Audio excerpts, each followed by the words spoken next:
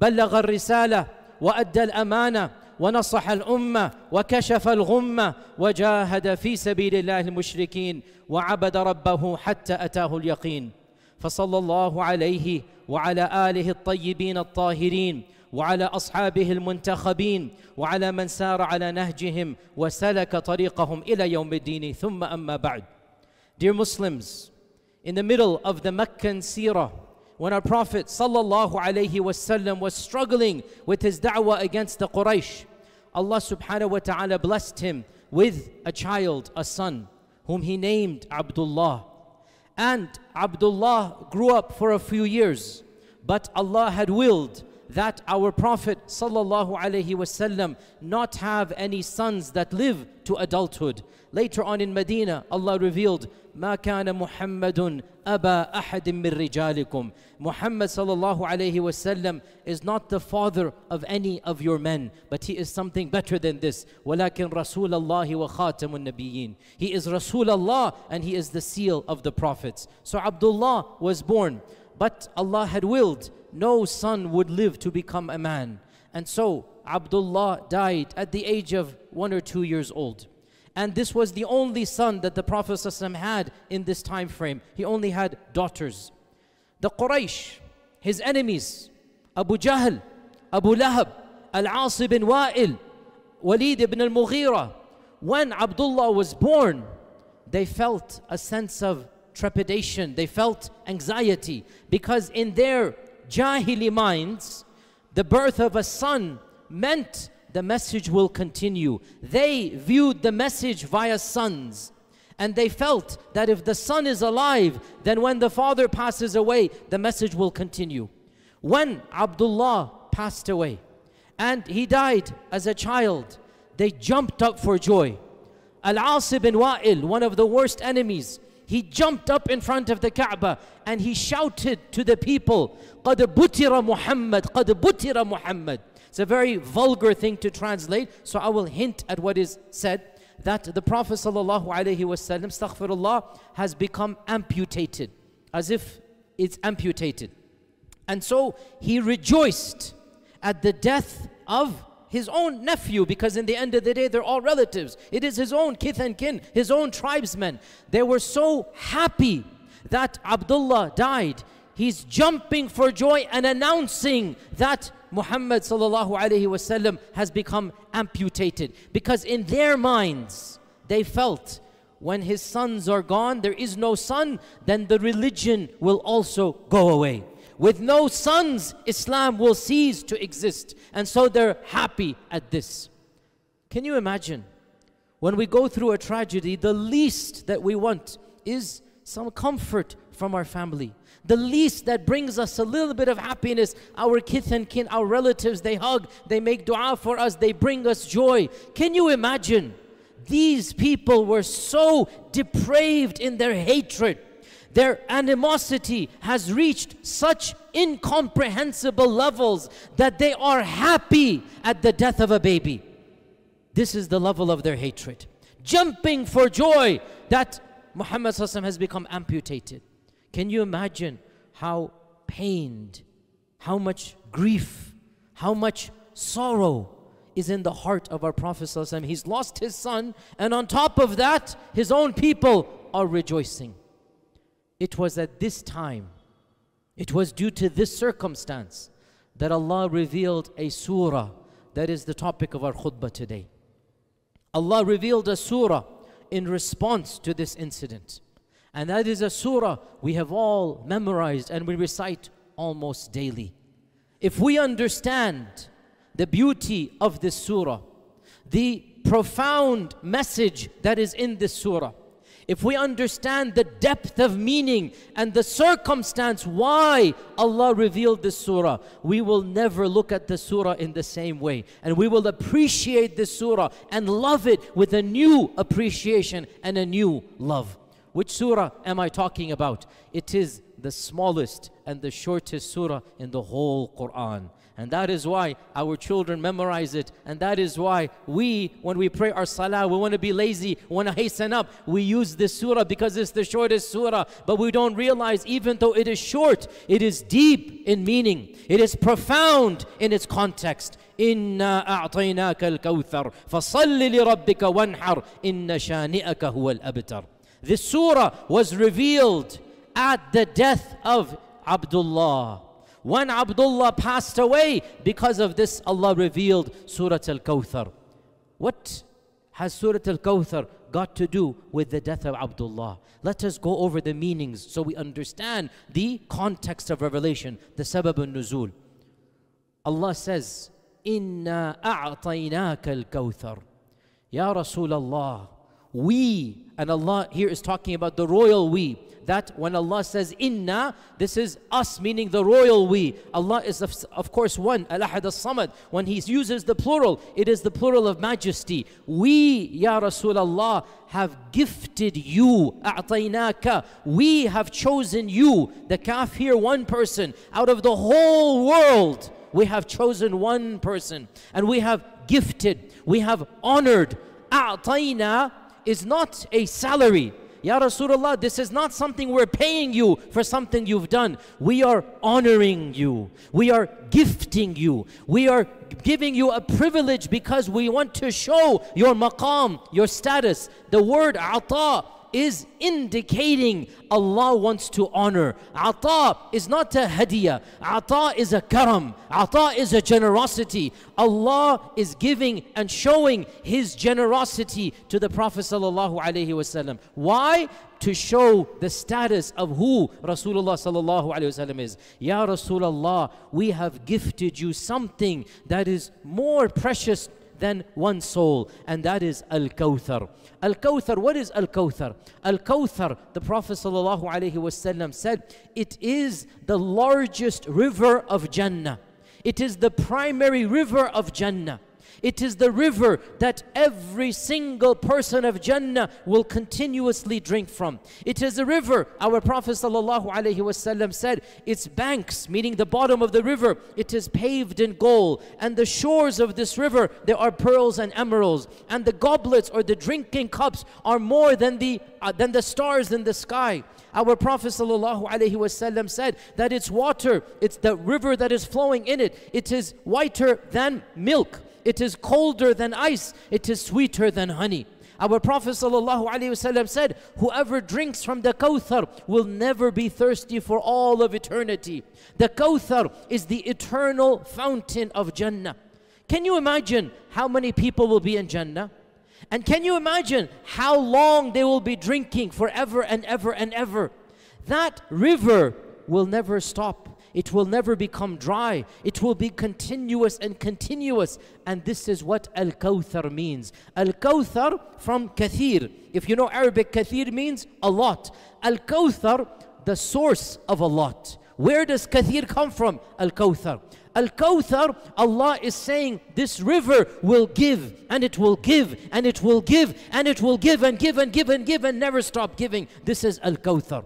Allah is telling the Prophet Ya Rasulullah, even if we have taken a child, we have given you something more precious than one life. And that is the river that will give life to billions and billions of people for all of eternity the river of Jannah, that every person of Jannah, every time they drink, they will think of you, they will remember you, because that river, even though the people of Jannah will drink from it, it is actually for you, Ya Rasulullah. It's your gift, Ya Rasulullah, and you will gift it to the people of Jannah. You will be the one, your honor, your generosity, every single time, every person takes one sip from Kawthar. May Allah make us amongst those people. Every time any person in Jannah takes one sip from Kawthar, he will remember this is not my river. This is not my property. This is Allah's gift to the Rasul sallallahu alaihi wasallam and he has given us permission to drink. Can you imagine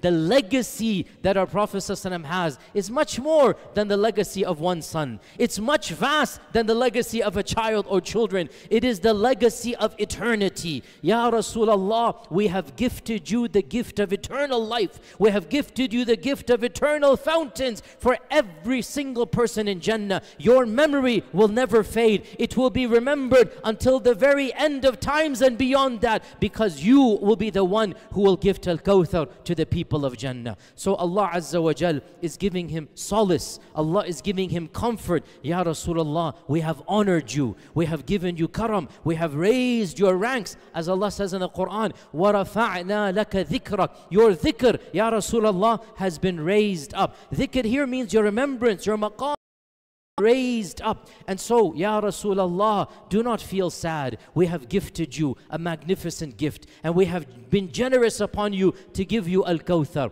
Notice here, then Allah says, فَصَلِّ لِرَبِّكَ وَانْحَرْ The fa here, it is a clausal fa, meaning because we have given you the kawthar, therefore you should pray and sacrifice and give udhiyah, give qurbani. Wanhar is to give qurbani and udhiyah. Salli, you pray salah. And so Allah is saying, because we have gifted you al kawthar, Ya Rasulullah, in, in light of this, what should you do?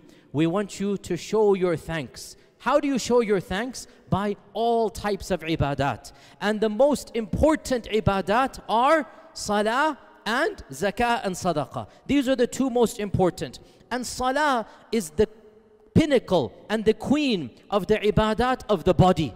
And zakah and sadaqah is the pinnacle and queen of the ibadat of money. And so by referencing salah and zakah all the other ibadat are implied as well. Because salah includes dhikr, salah includes sajda, salah includes Quran, salah includes dua. All of the ibadat of the body are indicated by salah. And when you give money to others, when you give charity to others, this is all of the ibadat that are service to other people. Khidmatul khalq is also of the ibadat. And so, فَصَلِّ لِرَبِّكَ وَانْحَرْ Now notice so many things to be said here. Realize, Jannah and Al Kawthar is gifted independent of Salah, independent of Zakah. Let no Muslim think, let no Muslim think that I will earn Jannah because I am praying. Dear Muslims, your prayer and your sacrifice and your charities are not that precious that they will earn Jannah. Jannah is more precious than our deeds. Rather, we will offer Allah what we can, and Allah will accept and magnify. Allah will immerse us in His mercy. Then Allah will gift us Jannah. Our Prophet ﷺ said, None of you, none of you earns Jannah through his good deeds. They said, Not even you, Ya Rasulullah. He said, Not even me, until Allah envelopes me, surrounds me with His rahmah. Let no one be arrogant and say, Oh, I am praying, so I deserve Jannah. I gave a hundred shillings, a thousand shillings, I deserve Jannah. No, wallahi, your entire life, if you were to dedicate to the worship of Allah, it is not that precious that you will get a spot in Jannah for all of eternity. Jannah is too precious for our deeds, but Allah is Kareem. Allah is generous. Allah is Rahman. Allah is Rahim. We come to Allah with small deeds, meager deeds, and Allah will bless. Allah is Shakur. Allah will magnify those deeds and Allah will give us more reward than what we have earned. This is how we will get Jannah. Not transaction. We are not purchasing Jannah. We are not buying Jannah with our good deeds. No, we are demonstrating, Ya Rab, we want to thank you. And we are going to fall short, but this is our meager thanks. Whatever we can do, we want you to bless us with more. And so Allah is saying to the Prophet, Your maqam in Jannah, it's already there, but you should show gratitude. How do you show gratitude? We show gratitude by worshiping Allah and by benefiting the creation. These are the two principles of our religion. If somebody had to summarize Islam in one sentence, it would be you worship Allah from the depths of your heart and you benefit as many people as you can. This is Islam. You worship Allah from the depth of your heart and you benefit as many people as you can. This is all of Islam. The rest of Islam, all of the advanced stuff, this is footnotes. This is just the, you know, technicalities. The essence of Islam. You worship Allah from the qalb and you do khidmat al-khalq as much as you can. And this is what فصلِ rabbika wanhar. You pray to your Lord and you sacrifice. When you sacrifice, what is the purpose of sacrificing an animal? You sacrifice an animal to feed the hungry hungry, to feed the poor. You sacrifice an animal so that those that are less fortunate, they're able to enjoy, they're able to live life. So this is khidmat al-khalq. Now other, another interesting point here. The word used here is wanhar.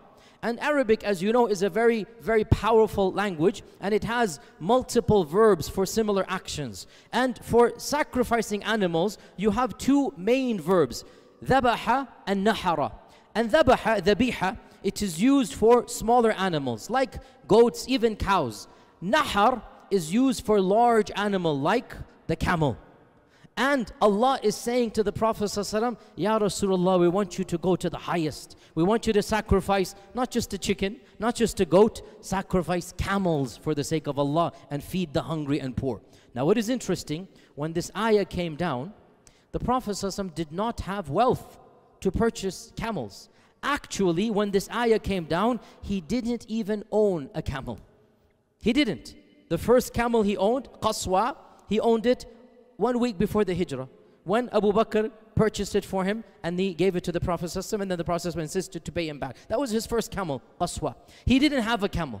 But Allah is saying, Ya Rasulullah, we want you to sacrifice a camel and distribute it to the poor. And subhanAllah, this shows us so much depth and profundity of them. Even when you don't have, you should aspire that I want to be the best pious person. You don't have a million shillings. Say to yourself, if Allah were to give me a million shillings, I will give one third of it, one half of it, I will give one tenth of it. You aspire to a high goal, even if you don't have it. He didn't have a camel. Allah is saying, We want you to sacrifice a camel. In this is also a prediction because when Allah commands, you know Allah will fulfill the context to, to allow those commands to happen. It is as if Allah is saying, Ya Rasulullah, a time will come. I know you don't have camels now. A time will come when Allah will bless you with wealth. And when you have wealth, don't forget this commandment. And I want you to sacrifice camels. Subhanallah, 15 years after this ayah came down, 15 years only after this ayah came down, our Prophet returned and performed Hajjatul Wada' and he fulfilled this ayah and he sacrificed not one, not ten, 100 camels. He sacrificed and he gave it to all of the Hujjaj. He remembered the commandment of Allah and he fulfilled that commandment. When Allah blessed him and he was now the leader of Medina and the state, now he returned to Mecca and he sacrificed 100 camels. فَصَلِّ لِرَبِّكَ وَانْحَرْ Also realize, brothers and sisters, that the concept therefore of gratitude how do we show shukr to allah shukr is shown primarily via our actions via our actions. Allah is saying ya rasulullah we gifted you al-kawthar. You should be thankful. How should you be thankful? Demonstrate your thanks by worshipping and by doing khidmah of khalq. This is how we show thanks to allah subhanahu wa ta'ala. Shukr is primarily shown by our deeds and actions. Allah says in the Quran, i'malu ala Dawood shukra. Show me, O family of Dawood, your, your, your shukr, your thankfulness via your deeds. I'malu shukra. Show me the amal of shukr. If Allah has blessed us with health, shukr is to use that health in helping other people. If Allah has blessed us with wealth, shukr is to use that wealth in helping other people. Whatever Allah has given us, shukr is demonstrated by actions and not just simply by saying, Oh, Alhamdulillah. That is the beginning of shukr. To verbally is the beginning of shukr. But the real shukr is not just verbal. The real shukr is shown in your deeds. And this is what Allah is saying. فَصَلِّ لِرَبِّكَ وَانْحَرْ And then Allah concludes the surah. Inna shani'aka huwa al-abtar. Inna here in Arabic, it is an emphasis. And I don't want to get too technical, but this ayah, it has five different mechanisms. If you know your Arabic balagha and, nahu, it has five mechanisms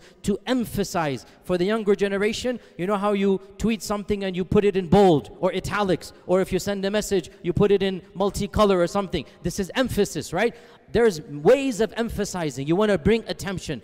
In Arabic, there are so many ways. This ayah, five different ways of emphasizing what is in this verse. It is as if you've underlined it, you've bolded, you made it caps, it is blinking in your screen. Allah wants you to know this message. Inna shani'aka huwa al-abtar. Again, multiple ways. I don't want to uh, go into the balagha here, but indeed, verily, no, Ya Rasulullah, no one should doubt that the one who has a hatred of you, shani'aka, the word shana'a is a very unique word in the Arabic language. Generally, it indicates an emotional rage. Shana'a is an emotional anger, an anger that doesn't have a reason. It doesn't have a cause. It's coming from irrationality. It is as if Allah is saying, Ya Rasulullah, nobody can hate you for a legitimate reason. Nobody can hate you for a rational reason. Anybody who hates you, it's emotional. Anybody who hates you, it's a problem with him. Even the word Allah used is not bughd, which is another type of hatred. It is shana'a. And shana'a is an irrational, emotional hatred. And Allah says, Inna shani'aka. No, Ya Rasulullah, the one who has an irrational hatred of you. Huwa, here is another emphasis. That very person. You don't need the huwa in Arabic. You can have a complete sentence without huwa. But adding that huwa is a mechanism of emphasis here. The person who hates you, that very person, huwa al-abtar, he will be the one who is the most amputated of all who are amputated. Al-As ibn Wa'il said, قَدْ بُتِرَ Muhammad, قَدْ بُتِرَ Muhammad. Allah said, the one who hates you, he is al-abtar. He is the one who is completely amputated. There is nothing that will remain of that person's legacy. Meaning, anybody who despises the Prophet ﷺ, anybody who says something bad against the Prophet ﷺ, anybody who mocks or ridicules the Prophet ﷺ, and he dies in that fate, he dies in that state, that person shall have no legacy whatsoever, not in this world and not in the hereafter. And how true is this? When Al-As jumped up and shouted, قَدْ بُتِرَ Muhammad. At that point, Al-As was a wealthy man. Al-As had 10 sons. Al-As was a chieftain. Al-As had respect in his community. And people would think, this is the this is the, the, the, the, the politician. This is the wealthy man. This is the businessman. Everybody knew Al-As ibn Wa'il. And subhanAllah, now the only people who mention his names are the ones who mention it in the context of the surah and want to curse him for what he has done. Where is his legacy? Where is his wealth? Where is his sons? Where is all that he built up? As Allah says, the one who despises you will be cut off from all good. This is in this dunya. What do you think will happen in the akhirah to the likes of Al-As ibn Wa'il? And by, by mentioning that the one who hates you will have no legacy, the implication is the one who loves you will be the one who has legacy. The one who follows you, the one who obeys you, who honors you, that is the one who will have a legacy. So if you want to have a legacy, you want to have barakah, you want Allah to bless you, then you have to be the opposite of this verse. You have to have mahabba of our Prophet sallallahu alaihi wasallam. You have to have the respect of the Prophet sallallahu alaihi wasallam. As Allah says in the Quran, that لِتُعَزِّرُوهُ وَتُوَقِّرُوهُ وَتُسَبِّحُ بُكْرَةً وَأَصِيلًا Well, that you may praise and you may love and you may honor the Prophet sallallahu alaihi wasallam. This is what our religion commands us to do. And if we want those blessings to come to us. And if we want to share in the legacy, and if we want to drink from Al Kawthar, the way to do so is to be of those who love Rasulullah sallallahu alaihi wasallam, who honor him, who believe in him, and realize, O Muslims, realize every blessing and every karam and every gift and every honor that our Prophet sallallahu alaihi wasallam has given, every one of us, because we are his ummah, we too share small amount, infinitesimally small, but we too share in that honor because we are His ummah. So when Allah raises Him and Allah blesses Him, then we are His ummah. Alhamdulillah, by raising Him, we thank Allah He created us in the best of all ummahs. We thank Allah He sent us the best of all prophets. We thank Allah we are in the ummah of our Prophet Muhammad sallallahu alaihi wasallam. Dear Muslims, this is the short Surah Al-Kawthar. Its meanings are profound, even though it is the shortest surah. It was a consolation that our Prophet ﷺ was given. We learn in the hadith that our Prophet ﷺ closed his eyes and then he opened them and he was smiling, he was beaming. And our Sahaba say, when he would smile, it is as if the moon was shining amongst us. When he would smile, it was as if the whole world was illuminated. He was smiling, you could see his teeth. And he said, Allah has just revealed to me a surah It is more precious to me than this whole world and all that is in it. And then he said, Bismillah ar-Rahman ar-Rahim. إنا أعطيناك الكوثر فصل لربك وانحر إن شانئك هو الأبتر This surah was more precious to our Rasul sallallahu alaihi wasallam, our Nabi sallallahu alaihi wasallam than this whole dunya. And he was happy when it was revealed. Let us also rejoice when we recite it. Let us also feel the happiness that he had. Let us also understand the implications and ask Allah subhanahu wa ta'ala to be of those who are blessed in this manner and drink from Al-Kawthar. May Allah subhanahu wa wa ta'ala bless me and you with and through the Quran. And may He make us of those who its verses they understand and applies halal and haram throughout our lifespan. I ask Allah's forgiveness. You as well ask Him for He is the Ghafoor and the Rahman.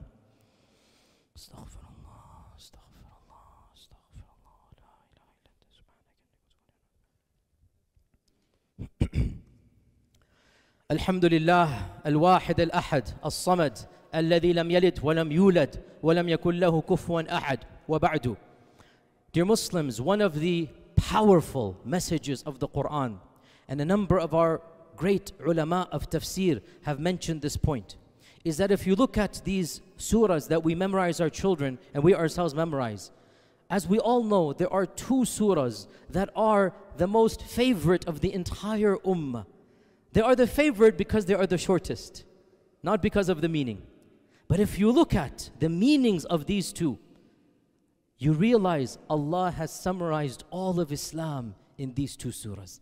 And we know what these two surahs are Surah Ikhlas and Surah Al Kawthar. In fact, we love these surahs so much, sometimes, unfortunately, we recite them in every single salah. Not because of the meaning, but because they're the shortest. No problem. Okay, recite them. They're halal to recite, good to recite, no problem.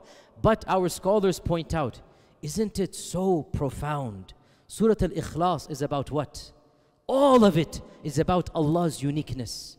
قل هو الله أحد and that is another khutbah we don't have time for today but understand this point قل هو الله أحد الله الصمد لم يلد ولم يولد ولم يكن له كفوا أحد we are praising Allah for his uniqueness and what is Surah Al-Kawthar about? We are praising the Prophet for his uniqueness. And what is Islam? Ashhadu an la ilaha illallah wa ashhadu anna Muhammad Rasulullah. By constantly reciting Surah Ikhlas and Surah Kawthar, by constantly re-emphasizing the central pillars of Islam, it is as if Allah subhanahu wa ta'ala gifted us, knowing how weak our iman is, knowing we're going to choose the two shortest surahs. Allah subhanahu wa ta'ala said, okay, if that's what you want to do. And again, I reiterate, it is permissible to recite these two surahs in every single you know, salah that we do, no problem. But understand there is also a balagha, a wisdom here, that by reciting these two surahs, we are constantly increasing our love of Allah and our love of the Prophet sallallahu alaihi wasallam. Dear Muslims, the religion of Islam is so simple as I said. Worship Allah subhanahu wa ta'ala purely, sincerely.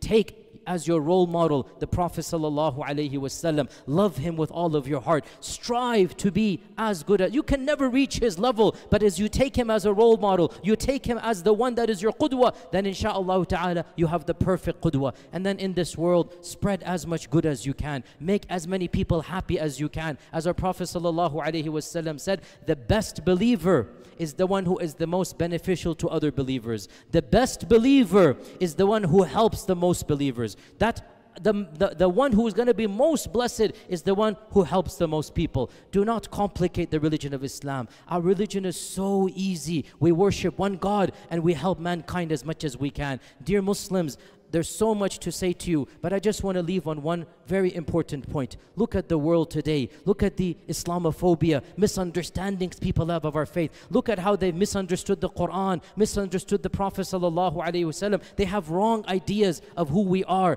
It is our job, it is our responsibility that wherever we go, everybody we interact with, we leave them with the good impression of our religion. And what is our religion? Worshipping Allah and being good to mankind. That's all our religion is. If every one of us did this small thing, if every one of us understood we are all ambassadors to the broader world, the non Muslims don't know who our Prophet is. When they see you, they think you will be following his sunnah. So for the sake of Allah and for the love of the Prophet wasallam, do not lie to them, do not cheat them, do not steal them. Be honest with them, show them mercy, show them compassion. Be the best that you can be, not even for yourself, for the sake of Allah and for the sake of the honor of your Prophet wasallam. We have a very big responsibility. We have a very massive responsibility, and it is not that difficult to do. All we must do is be the best that we can be and follow the teachings of our Prophet ﷺ. And if we do so, subhanAllah,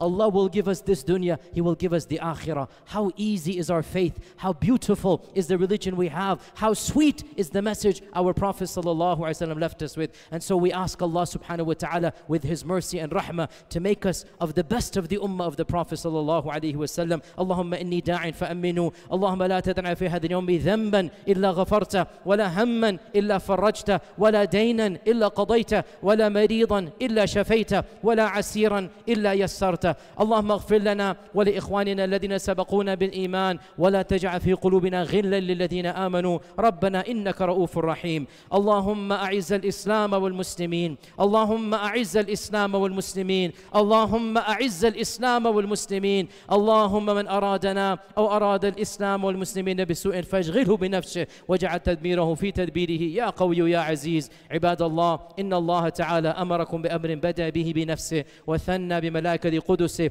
وثلث بكم أيها المؤمنون من جنه وإنسه. فقال عز من قائل عليما إن الله وملائكته يصلون على النبي. يا أيها الذين آمنوا صلوا عليه وسلموا تسليما. اللهم صل وسلم وبارك وأن